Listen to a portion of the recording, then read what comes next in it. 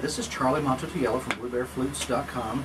Uh, today, making the second of our video series about the different hertz frequencies of uh, flutes that were being requested flutes be made into specific hertz and intonations. The last video we made was rather lengthy on how um, each of these hertz frequencies and resonance ideas have come about. And this video is simply on tuning flutes to said hertz frequencies. Now, uh, you probably have seen a couple of our other videos, or at least if you haven't, now you know they're around, there's a bunch of them. Um, we've made an A flute in a video before. However, we have a video series of making different flutes in different keys. In that video series, we usually tune everything to 440 just for the sake of being standard. Um, but, uh, or rather, however, I'm trying not to say but, I don't know if you guys know that or not. But anyway, however, uh, makes a nice little lead into another conversation. Uh, what we're going to be doing today is just taking these flutes that are generally my A flutes, flutes that are going to be tuned to A, and we're going to tune each of the three of them, uh, each one of the three, to a different hertz frequency, being 440, 432, and 528 hertz C. And it'll be a lot easier to see how we do that uh, with the last one whenever you look at the sheet and look at the tuner and what I'm going to tell you. So hold your questions and applause to the end of the video, and this one will be a little bit quicker. Okay, so let's go ahead and look at this and see how we're going to tune it. This one is going to be our subject for the 440 tuning. Take a look at uh, what 440 tuning encompasses. That's where A is at 440, C would be at 523.25, uh, we have D would be at 587. The next one would be E at 659, G at 783, and A at 880. This is known as equal tempered tuning or equal tempered scale. Once again, one of those terms that a lot of people like to throw out there so that they, you know, are communicating with the correct jargon with us, but I don't use equal tempered uh, tuning references very often unless I have to talk to people about that specific thing. So uh, there are other considerations with respect to tuning. Uh, but anyway, we're going to do the 440A. We're going to use this tuner, and if you look, I had it set on 432. And all I need to do, if you see this over here, most tuners have a system of doing this. Many of you know that I use the uh, the little uh, Android tuning app known as G-String. It's changed names and a few other things, and I should really have contacted these people about advertising. It's just the one that I picked out of a hat to use, and uh, it works for me. So if you're using a G-String tuner, if you go down to the bottom, if you have the updated version, there's a little drop down menu. You click on it, it'll bring up the option for orchestral tuning. And in orchestral tuning, you can set it to 440, 432, 528, you know, whatever you need to do. Uh, so this one is now set to 440. Let's see what it sounds like. The light on the left means it's flat. Light in the middle means that I'm speaking almost perfectly in tune. No, I'm just kidding. So what I'm going to do is I'm going to shave the bottom of this flute off just a smidgen so that it'll come up to 440. Y'all hang tight and listen to my machines making their noise. So anybody see what key those machines were in? Probably not because Jesse probably sped up the video.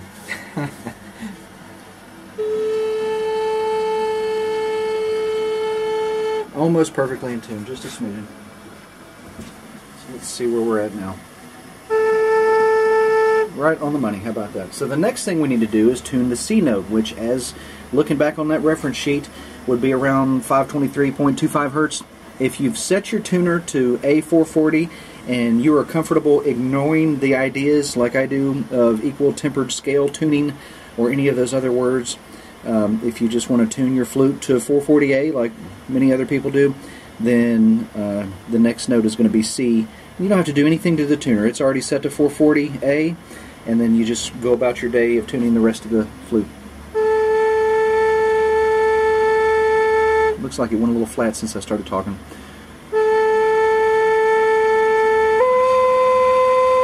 so that C is not in the middle here where it needs to be. What I'm going to do, as most of you know, is I'm going to use a burning tool to change the size. I'm going to enlarge the size of this hole, which I've just done. Went a little bit sharp. Me see. Sometimes it's because the hole is a little warm.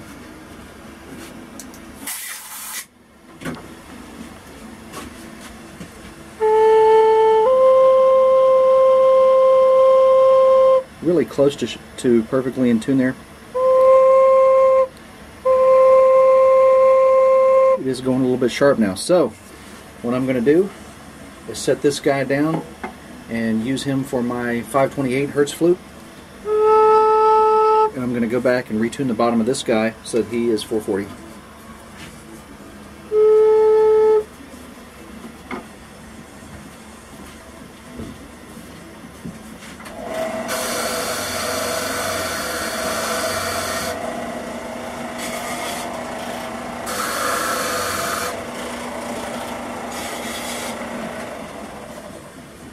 there's probably going to be some heated discussion on a blog somewhere as to whether or not I did that on purpose.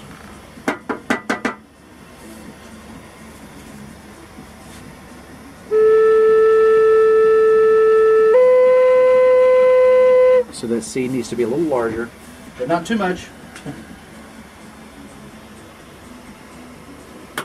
It does make a good opportunity for uh, teaching though about the differences between the hertz, the tunings, and what you can do with one flute, and then you need to go and do it with a different flute.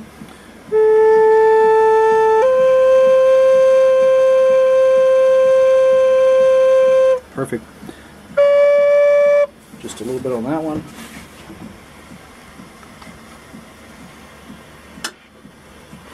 Let's see if that was enough. Probably not. Nope, a little bit more.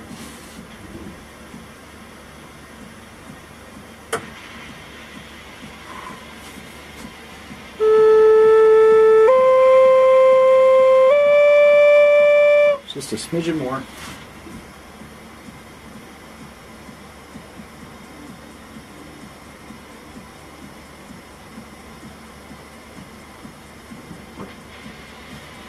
Any of you that are making flutes and you're using this as a reference, keep in mind when there is smoke inside of the flute, if you're using a burning tool method of enlarging the holes like I do, um, if there's smoke inside of the flute chamber from the wood burning, then it will cause the flute to um, go a little bit flat and may not play for a minute or two and that's because uh, the smoke is more dense than air is. So going back to this.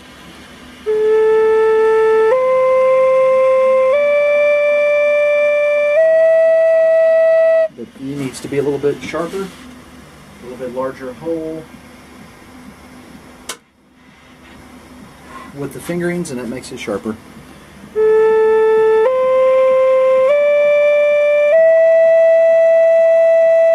Perfect.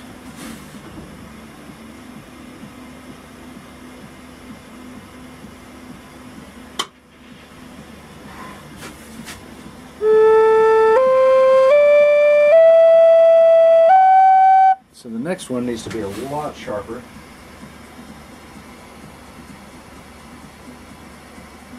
I don't even know if sharper in this particular meaning is the way you would say it. I believe it would be more sharp, but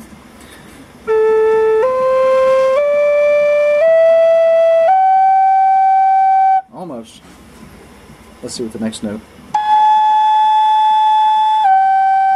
So they're both quite flat. Uh, coincidentally, I went ahead and put up another burning tool on there. You can get an idea what the holes look like.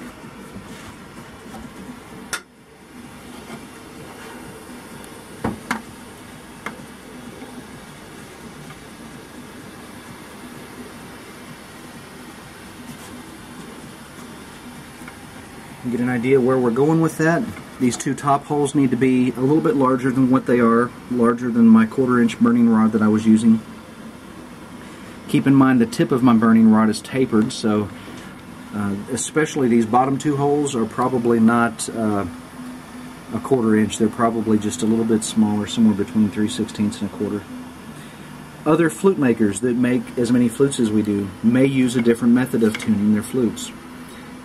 they may have a guide or a gauge that they go by and set the um, the settings at a specific uh, hole pattern, and then it's basically uh, as big or small as it's ever going to be. Does that mean that each and every one of their flutes turn out uh, exactly in tune? I don't know. That leads me back to the question of should I tune my flutes while it's 72 degrees outside? Once again, I don't know. I just know that the reason we do these is we like, you know, we, we do things the way we do is we like to tune each of them individually and make sure that they're exactly where we say they are. Um, so, of course, you could always pick back up on the other end and um, just have a system of checking them at the end of their production line. But I like to, like I say, tune and check each one of them at the same time. And that's where we're at. So, having talked plenty about that, let's go ahead and uh, enlarge these next holes.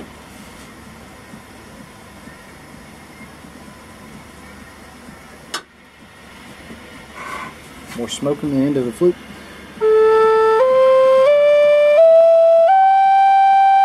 Almost. Boy, that's close. All right.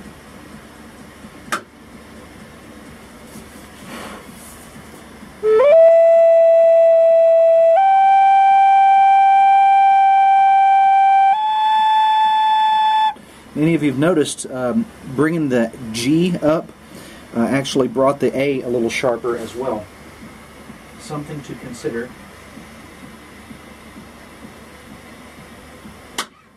All right. I went ahead and tuned the G and the A while I was at it.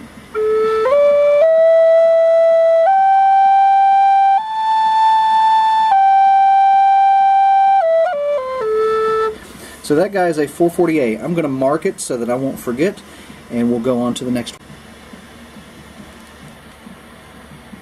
one. Okay, so next we're going to go ahead and make the uh, 432 hertz flute. And if you notice, I've got a little calibration button here. See where it says 440?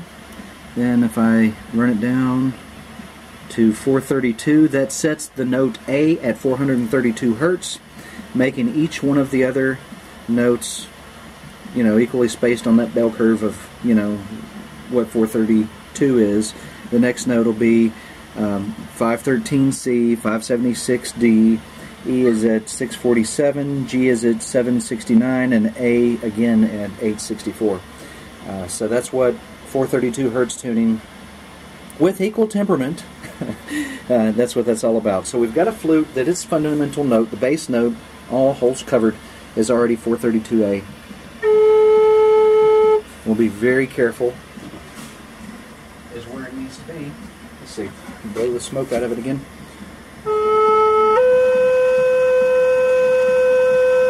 Almost.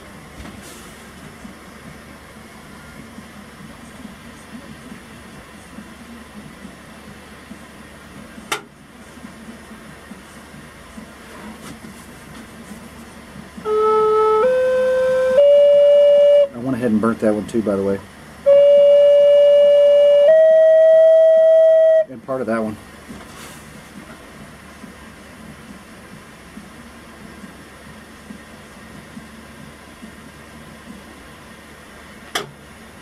Now let's see where those notes wound up.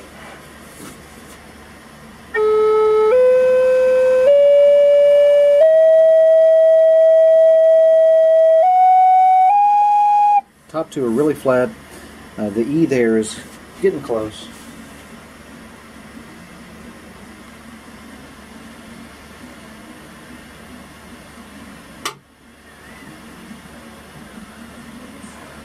Let's see what it looks like now.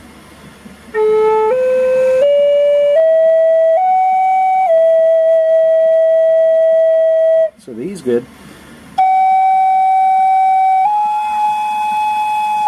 G are a little on the flat side.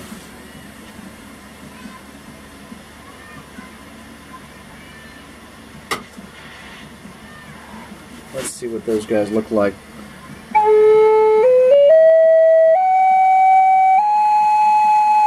Almost.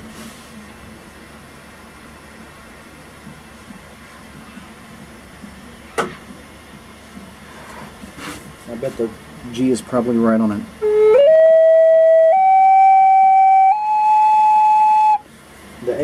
Almost there.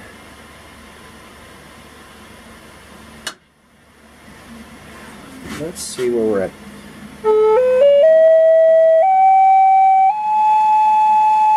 I'm going to still get that one a little closer. see what that top note.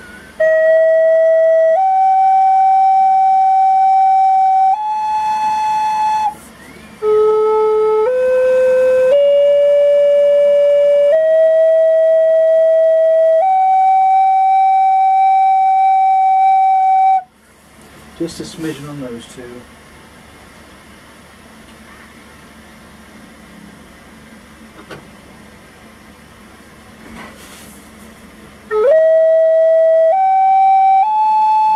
Now many of you have noticed probably that I go back over the scale from bottom to top after I um, tune one note, like say the bottom note, I tune the next note, which is C uh, in this case, and then the next note, which is D.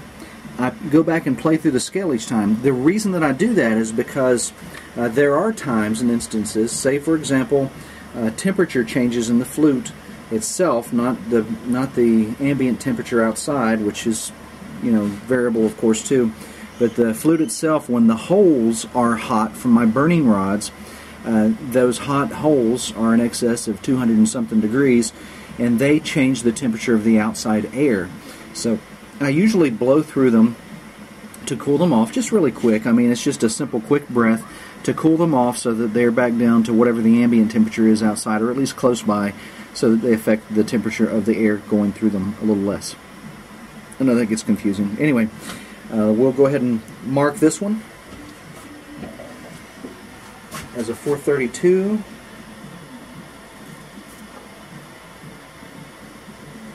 So uh, I'll set the two of them side by side. You can kind of see what they look like. This guy here is our 440.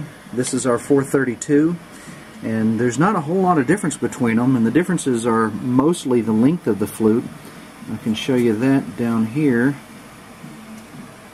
lining the holes up together the 440 is of course a higher tone than 432 is therefore the um, length of the flute is a little different but getting those notes right on the money is uh, is critical. There are some differences in size of the holes as you will see when it comes to the 528 flute we're going to work on now. So the bottom note, let's go ahead and change our tuner back to where it belongs. As I told many of you, if C on the scale is at 528 hertz, um, which I'm going to pop a little piece of paper over here to show you. 528 hertz C, if you look right above it, A is at 444. Okay, so we did all that. Anyway, what I'm going to do is go ahead and tune this guy up 4 hertz to 444A, which is where C is at 528.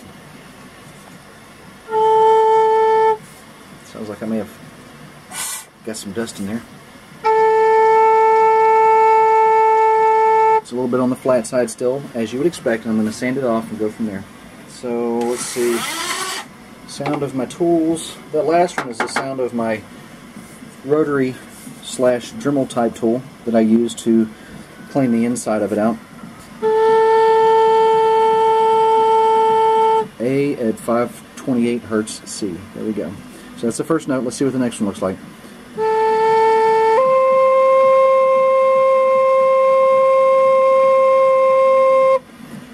Tiny bit sharp.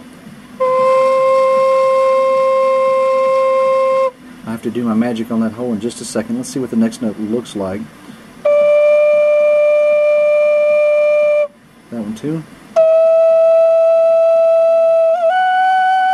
So the top notes are flat, bottom notes are just a smidgen sharp. Give me 30 seconds. So that's the big burning tool. It's our 5 16 rod. Most of our flutes have holes the fingerings are usually between a quarter and 5 16 Smaller flutes have smaller holes, larger flutes usually have larger holes.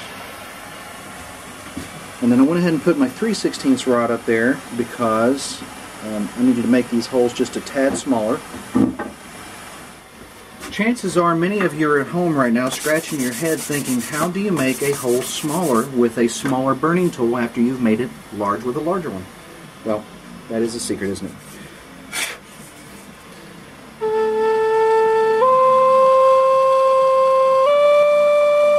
So the D needs to be just a smidgen bigger.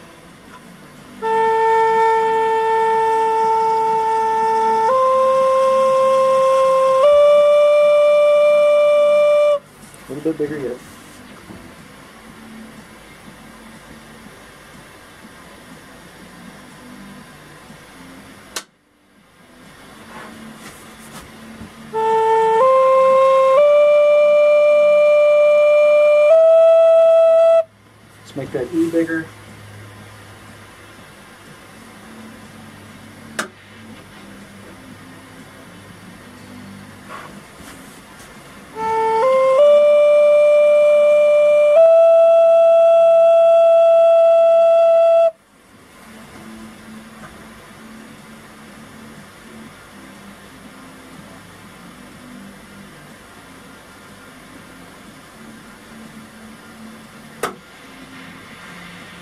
Let's see where that took us.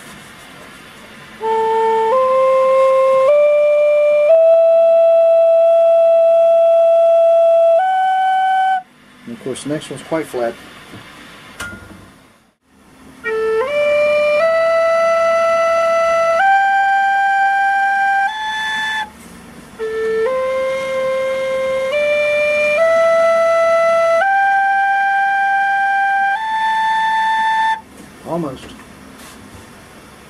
Almost. Let's see here.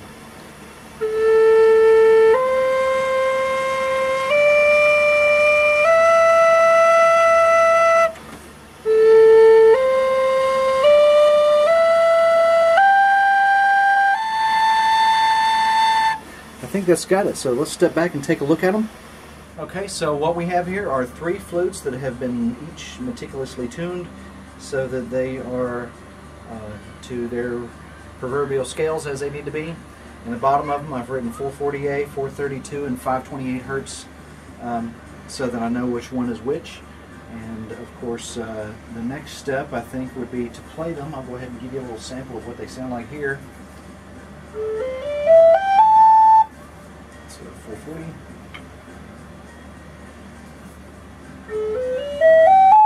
Of course, that's 432, which is lower, then higher than both of them. Is the 528. Uh, like I say, we're going to go ahead and put some finish, our little bear design on the back of it, and uh, oil and wax them as we do with most of our flutes. And then from there, um, we're going to have a flute that is definitely ready to test against another to see which one of these scales and or tones we like the best. And uh, that's going to be our next video. I hope you guys have enjoyed this one. There's a lot of information, of course, and a lot of things to consider because we are actually making these flutes tuned to a specific key right now.